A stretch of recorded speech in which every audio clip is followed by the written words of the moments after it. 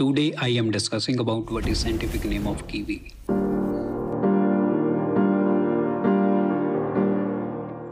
Kiwi is a edible berry. The skin of the kiwi is very beneficial. It contains many antioxidants. And this skin are good source of vitamin C, vitamin E and vitamin K. Kiwi fruits help in blood clotting factors. It is reduce the risk of stroke and heart disease. It is reduce the DNA damage.